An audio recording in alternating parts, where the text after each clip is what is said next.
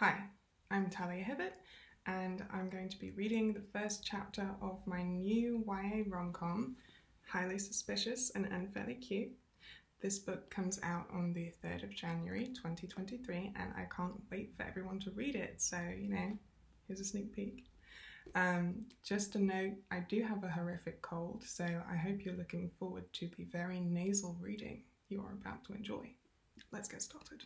Chapter 1 Celine. It's the first day of school and I'm already being forced to socialize. I'm dead serious, Nicky Cassidy says, his eyes wide and his acid wash shirt stained with what looks like tomato sauce. Juice WRLD is alive, Celine. The planet needs to know.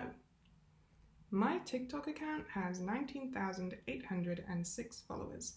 At how Celine sees it, feel free to take me to 20k. So God knows how I'm supposed to inform the entire planet of anything. Besides, I make videos about UFOs and vaccines. Conclusion I believe in both. And that guy who hijacked a plane and literally vanished with the ransom money. I don't make videos about people's tragic deaths because it's rude and tacky. Also, I don't take requests. For God's sake, I am a conspiracy theorist. There must be some glamour in that, or else what's the point? Sorry, Nicky, I reply. Still no. He is appalled by my lack of sensitivity to his cause. You're joking. Almost never. Fine, if you don't want to tell the truth, I'll do it. Your TikTok's crap anyway. He storms off, leaving me to cross campus on my own. So much for Mum's hope that I'll make more friends this year. Oh well. I inhale the warm September air and stride through the school's higgledy-piggledy pathways alone. Rosewood Academy is a rambling maze, but this is my final year, so I know it like I know Beyonce's discography. It takes five minutes to reach the beach hut, aka our sixth form common area slash cafeteria, a tiny, musty building that begs to be knocked down. I snag my usual table by the notice board and get on with the very important business of ignoring everyone around me. I'm on my phone, stitching together some footage of cows that I filmed this weekend for a video about the possibility of cannibalistic bovine overlords running the beef industry, when my best friend slides into the chair beside me and waves a glossy leaflet in my face. Have you seen this? Michaela demands, her pink curls vibrating with excitement. I haven't, I say, and if you put my eye out with it, I never will. Don't be miserable. Look! She slams down the flyer and crows, Catherine Breakspear. Then she clicks her tongue piercing against her teeth, which is Minnie's personal version of a mic drop. It works. I fall all over that shiny piece of paper like it's a plate of nachos. There she is, Catherine Breakspear, her wide mouth severe, no ladylike smiles for Catherine, thank you very much, and her hair perfectly blown out. They did a whole article in Vogue about that blowout, which is ridiculous considering Catherine's famous for her trailblazing career in human rights law. Commentators call this woman the James Bond of the courtroom because she's so damn cool. She's won at least three internationally significant high profile cases in the last five years. She bought her mother an entire compound back in Jamaica to retire to. And Vogue is talking about her hair. I mean, yes, the hair is gorgeous, but come on, people. Catherine Breakspear is the blueprint, and one day I'm going to be her, building my mama house in Sierra Leone. My eyes narrow as I study the leaflet. Apply for the Breakspear Enrichment Program, I read.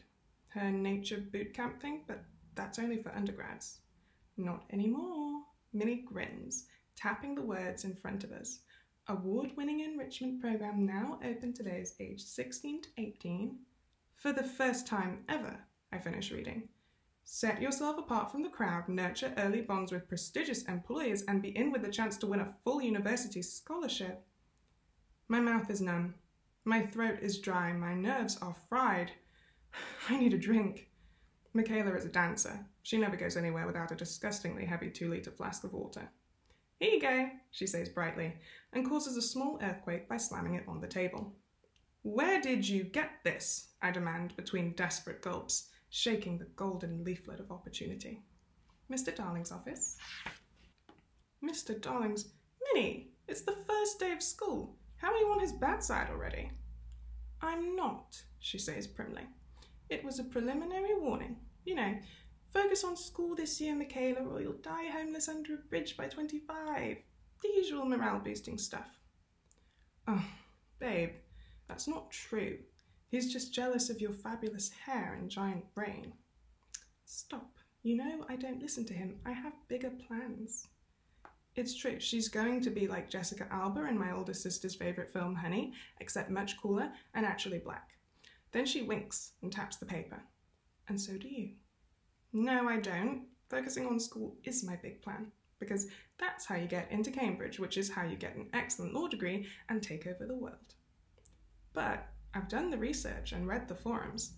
Companies, including law firms, fall all over themselves to hire Breakspear enrichment alums because the program produces uniquely driven and capable candidates with work ethics and abilities worthy of Catherine's own reputation.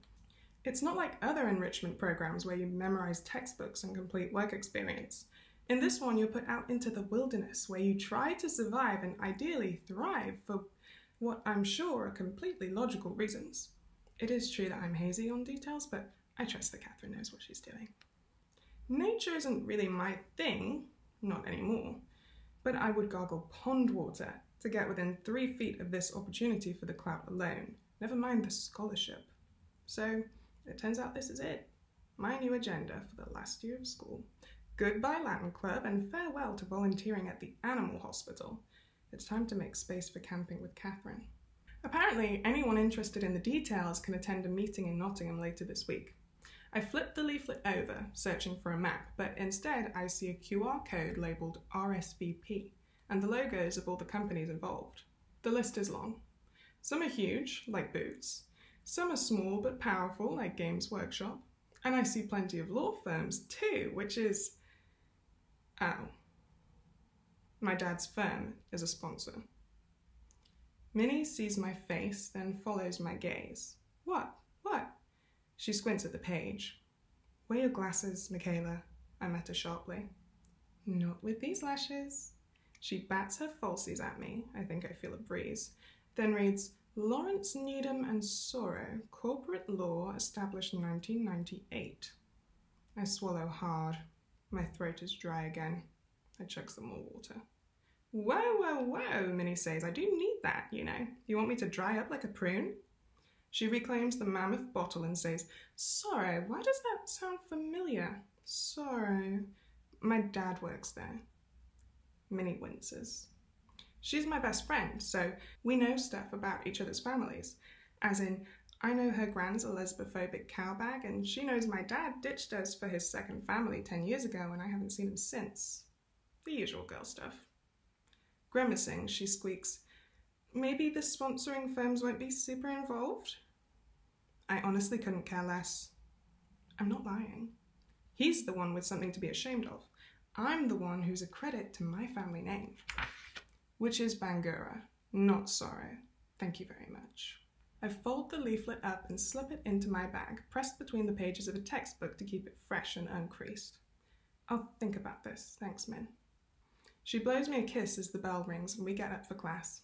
Only then do I realise who slunk into the beach hut while Minnie and I were talking. Bradley Graeme is here. Alongside, you know, a ton of other people, but he stands out as the king of uselessness. He and his breathless fan club are ensconced at their usual table, miles away from the admin office, which allows them to get away with breaking all kinds of rules. Case in point, Bradley Graeme is currently bouncing a completely illicit football off his head.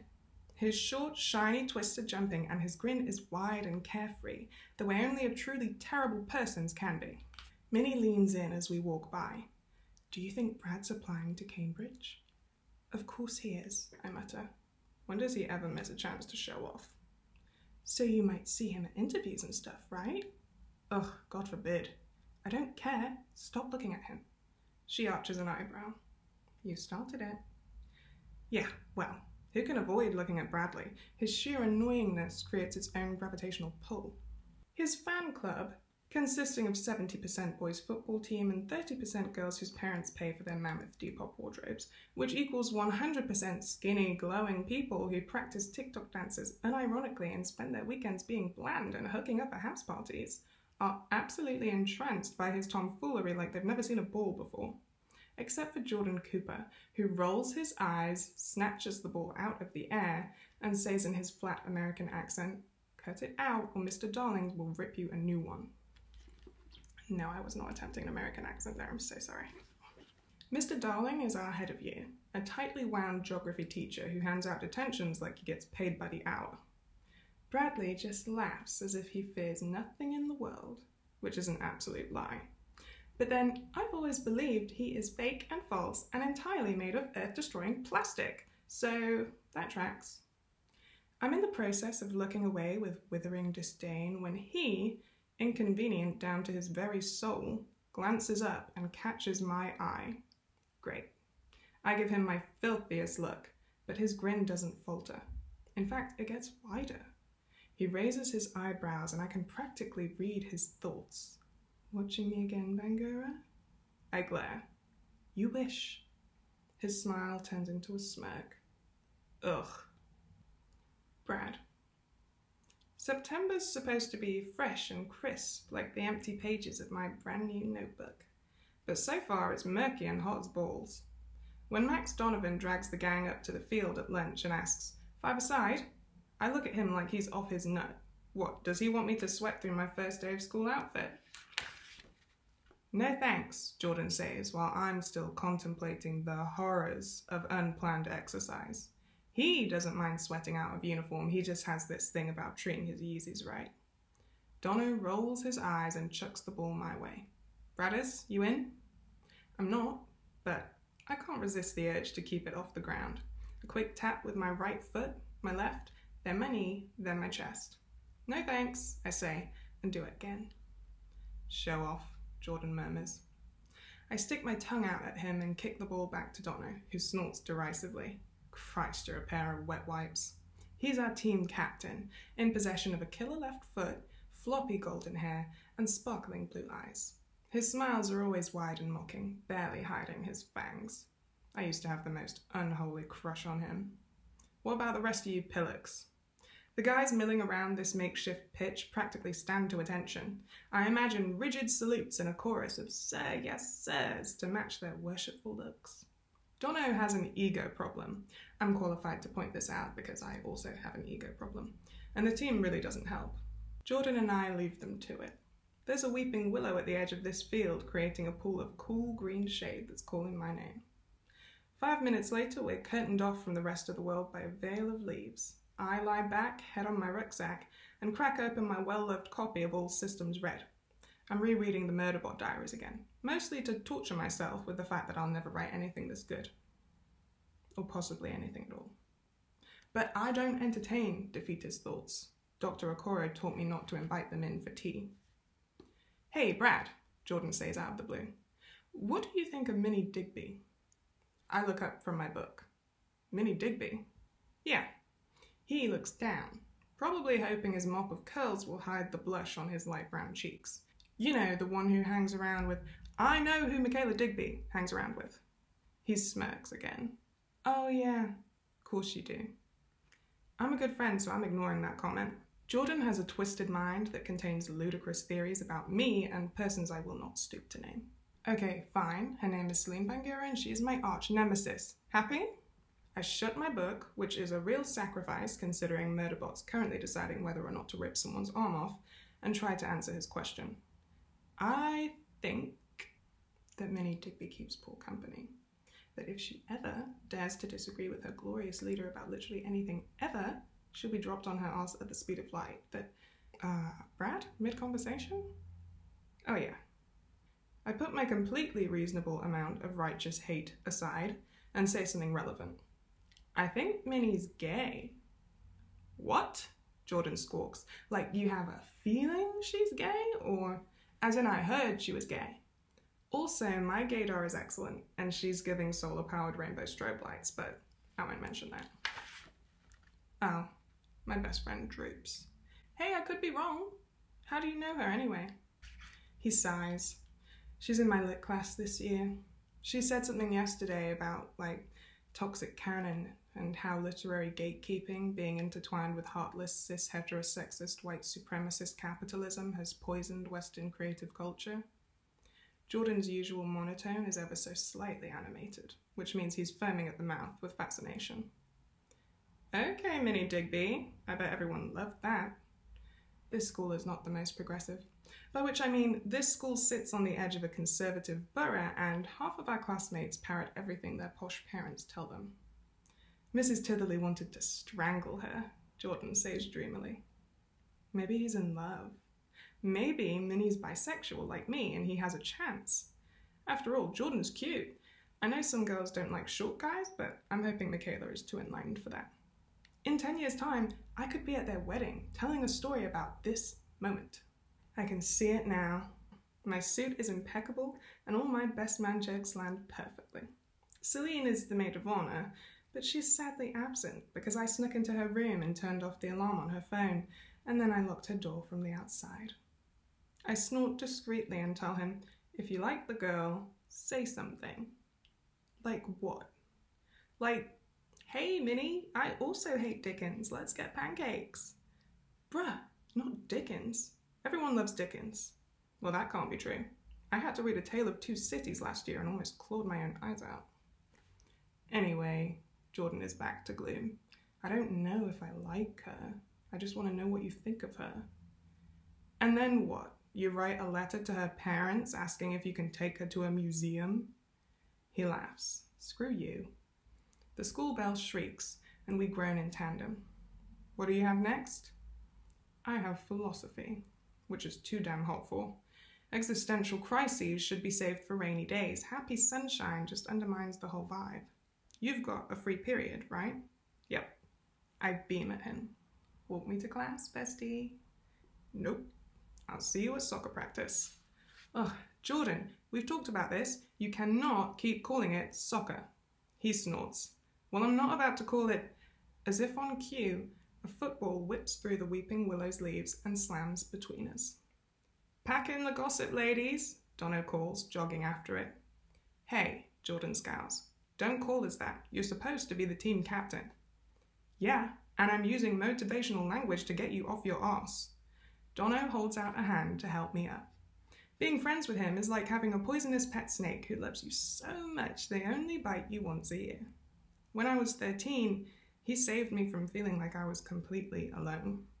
Now I'm 17 and he gets on my damn nerves. But he's got my back, so I've got his, even if he occasionally makes it difficult. You in Taylor's philosophy class? Dono asks as he hauls me to my feet. Yeah, why? Me too.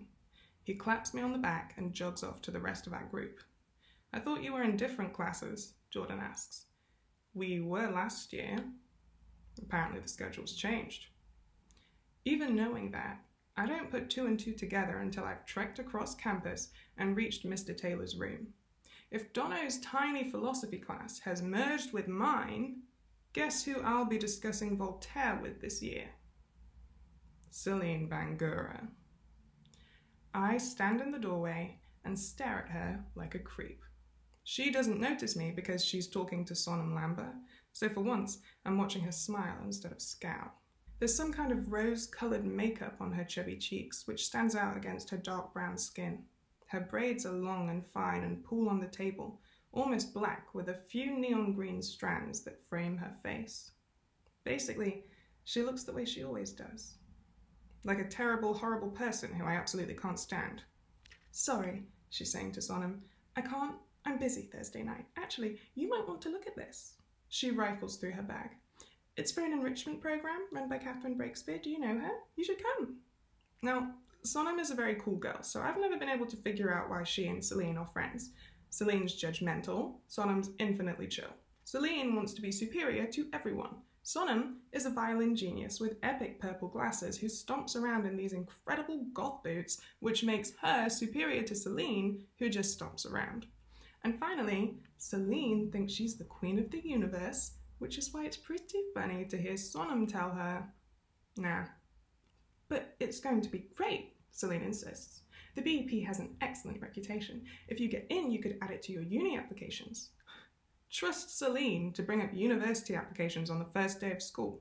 I bet she's only applying to Oxford or Cambridge or like Harvard and she's convinced she's going to get in because she's so smart and so special and ah, Bradley!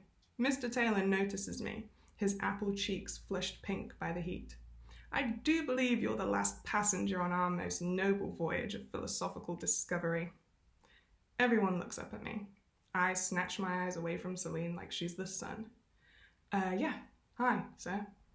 Well then, he booms in a Shakespearean voice that doesn't match his bony frame. Come in, come in, don't delay. Sit down and let's get started.